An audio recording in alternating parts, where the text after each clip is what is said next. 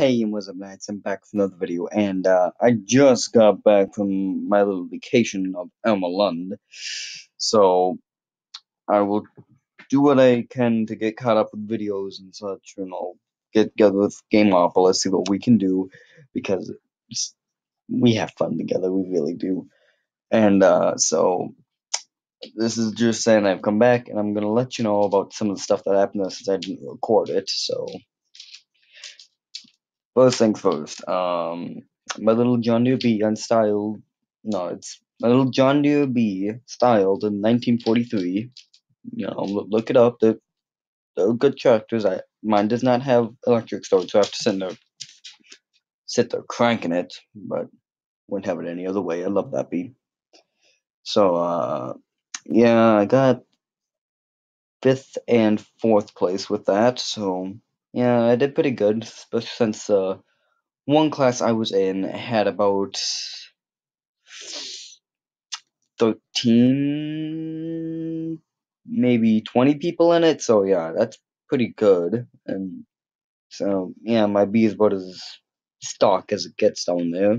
So, yeah, I did really good. That B did awesome. And then the other one, there was a 4 mile per hour speed limit, which might be was far under, but she kept good, so she got fifth place in that, and so I'm happy with that.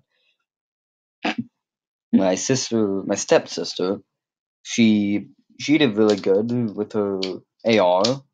Every time I say AR, I feel like I need to say 15 because the assault rifle, but with her AR, she did really good. She was pulling against stuff she really shouldn't have won.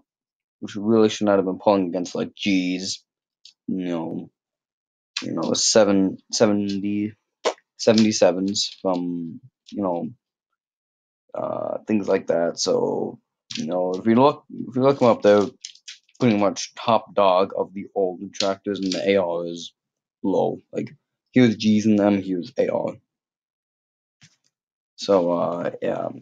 So, the thing about hers is you're supposed to, we went through the parade and all that, and hers died right on the way back, so I had to run up to the campsite, grab the chain, hook it up to the AO, back my B up, get that hooked up, and pull started until she got back. So yeah, that was a that was a fun moment and uh, on spot. So there we go. That's pretty much all I really need to touch base on. I did pretty good. The B did really good.